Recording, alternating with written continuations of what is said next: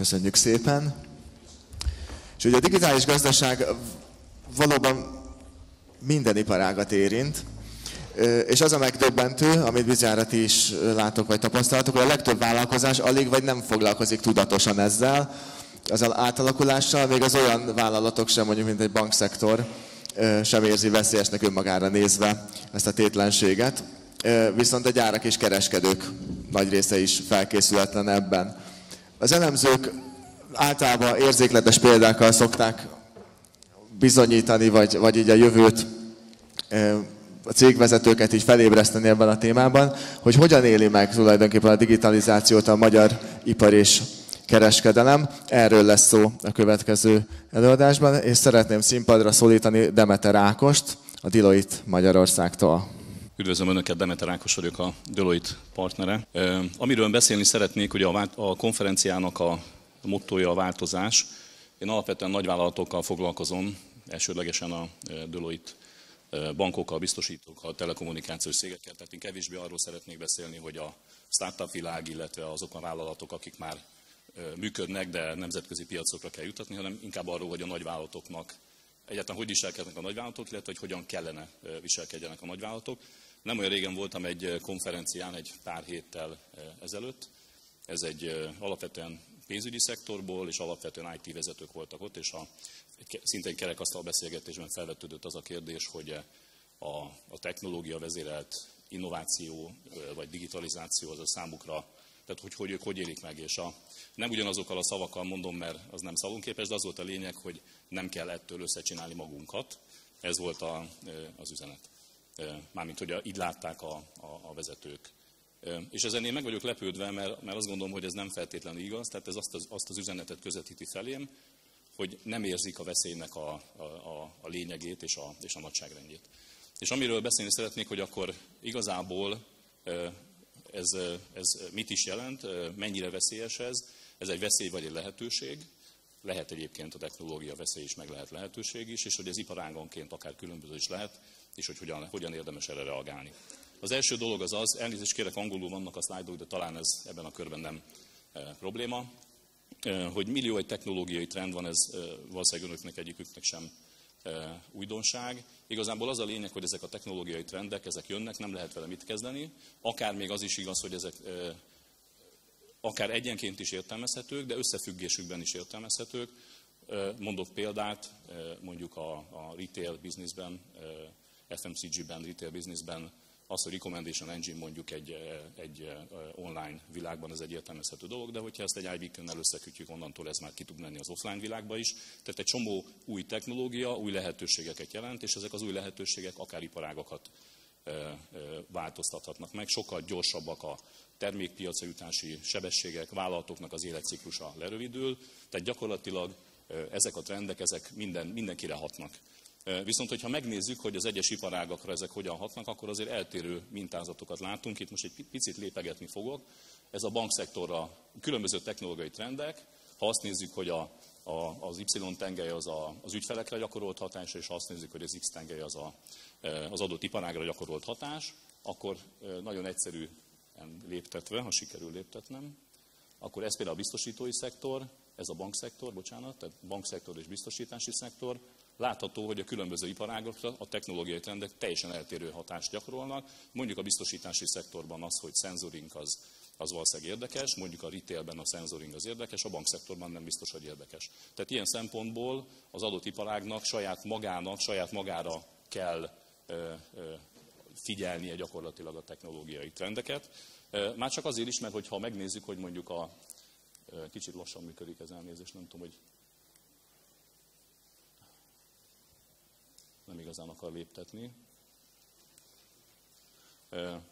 Hogyha megnézzük, akkor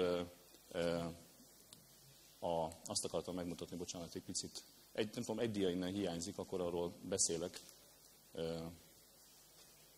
Kérhettek ebben segítséget? Nem, nem igazán akar jól működni. Azzal léptetek, csak nem igazán akar. Hova kell mutatni? Oké. Okay. Jó. valahogy nem igazán működik. Na igazából az a lényeg, hogy a különböző iparágra különbözőképpen hat. És hogyha az a kérdés, hogy, hogy ugye a vállalatoknak ezzel foglalkoznia kell, nagy vállalatoknak ezzel mindenféleképpen foglalkoznia kell, mert hogyha nem foglalkoznak vele, akkor, akkor ugye erősen megkérdőjelezhető az életképességük, akkor, akkor kerül előtérbe az innovációnak a jelentősége. És hogyha, hogy, hogy mit is jelent az, hogy innováció, az mindenféleképpen valamilyen a vállalat szempontjából, vagy a core businessében, ugye mondjuk egy banknál a core az, hogy a, valószínűleg mindenkinek van bankszámlája, az, hogy a számlavezetéssel kapcsolatosan, az, hogy a hitelezéssel kapcsolatosan, vagy bármelyik fő tevékenységgel kapcsolatosan. Tehát az alaptevékenységében is beszélhetünk innovációról, de beszélhetünk innovációról abban, hogy az alaptevékenységétől kilép, és más, például ugye telekommunikációban ugye biztosítás felé elmozdulnak, régebben már energiaszektor felé elmozdultak, tehát kilépve a, a komfortzónájából valamilyen oly, olyan innováció felé elmozduljon, ami egy, ami egy ténylegesen új dolgot teremt meg. Jellemzően, hogyha megnézzük, akkor a, a különböző innovációs lehetőségeket, ha csoportosítjuk, akkor ugye a, a, az, a, tehát egy része az innovációnak, az az, az az inkrementális innováció, vagy fenntartó innováció, egy része az a radikális vagy, vagy disruptív innováció. A legtöbb nagyvállalat az jellemzően abban a zónában mozog, hogy alapvetően, ha egyáltalán innovál, akkor, akkor alapvetően az inkrementális innováció az, amivel foglalkozik. Gyakorlatilag a meglévő termék körében gondolkodik de sok esetben ugye az, amit az elején a bevezetésben tettem, a sok esetben azt mutatja, hogy akár még az inkrementális innovációval sem foglalkozik, de azzal, hogy, hogy saját magát akár, hát nem tudom, rossz magyar szóval diszraptálva, előre szaladva, és ugye azt felvállalva, hogy akár saját magamat kannibalizálom azért, hogy aztán hosszú távon egy, egy biznisz, meg, egy üzletet meg tudja tartani, ebben nagyon kevés nagyvállalat, nagyvállalat gondolkodik. Nemzetközi szinten elég sok példa van ebben, tehát vannak nemzetközi szinten például olyan biztosítók, akik azt mondják, hogy én hajlandó vagyok vállalni azt, hogy investálok, és saját magammal szemben létrehozok egy alternatív, alapvetően abban az esetben direktbiztosítót, és tudom, hogy a, a az offline világban a bevételeim jelentősen fognak csökkenni, de ezzel tudom megtartani a, a, a hosszú távon a bevételeimet. A nagyvállalatoknak a jelentős része az a radikális innováció vagy diszruptív innovációval kevésbé eh, foglalkozik. Viszont ugye az egy fontos dolog, és itt akkor ezeken a példákon túl megyek az idő hiányában, az egy fontos dolog, hogy ha arról gondolkodunk, hogy innováció, akkor, eh, akkor minden nagyvállalatnak három eh, azt szoktuk mondani, hogy három idősávon kell gondolkodnia, tehát kell foglalkoznia a, a rövid távú jövővel, kell foglalkozni a hosszú távú jövővel, illetve kell foglalkozni a, a középtávú jövővel, és kell foglalkozni a hosszú távú jövővel. E, ugye a rövid távú jövő az arról szól, hogy, hogy holnap is legyen bevételem. A középtávú jövő az arról szól, hogy e, megtaláljam azokat a e, lehetőségeket, amit, amik azt segítik. Ezek között már a disruptív innováció is egy, abszolút egy lehetséges eszköz.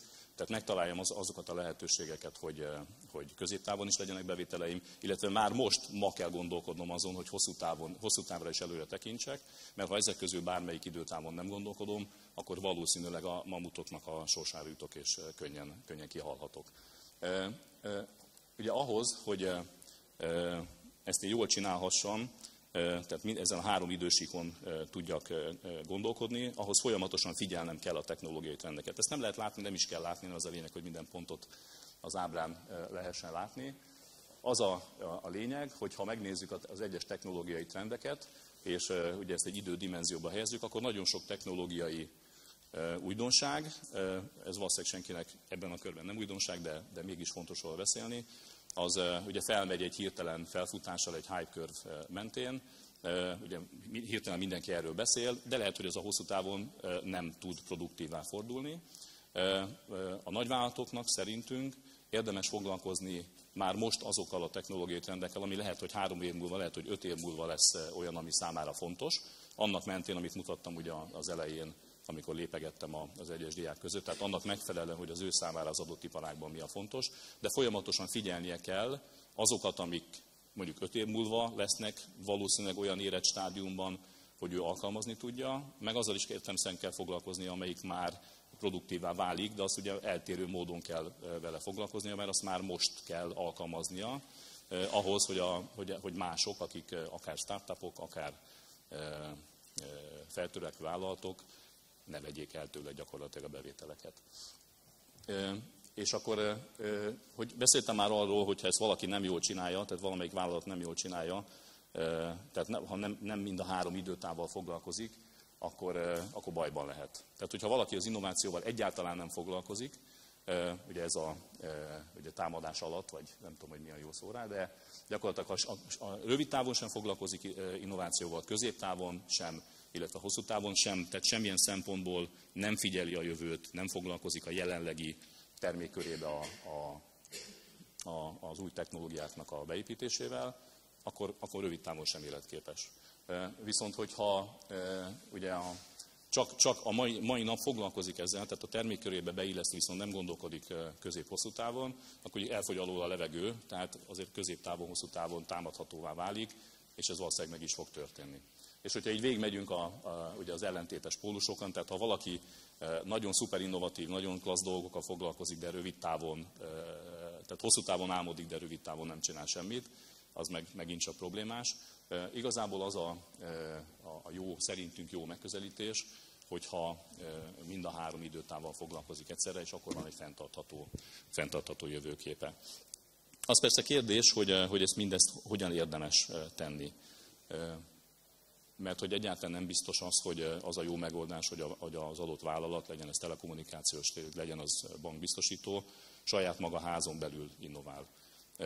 Hogy ezeknek a formái, azt, hogy ő ezt kiszervezi, partnerel valakivel, ugye attól függ, tehát hogyha vannak olyan startup cégek, akik ugye elkezdtek valami olyan dologgal foglalkozni, ami a banknak érdekes, releváns, akkor partnerségre is lehet lépni, de simán lehet az, hogy, hogy akár ugye a, a, a, le, a veszélyt elhárítani, akár felvásárlással is lehet. Tehát ugye ennek az eszközrendszere azért elég széles palettán mozog, gondolom a következő beszélgetésben lesz erről szó, hogy az egyes nagyvállalatok hogyan tudnak reagálni.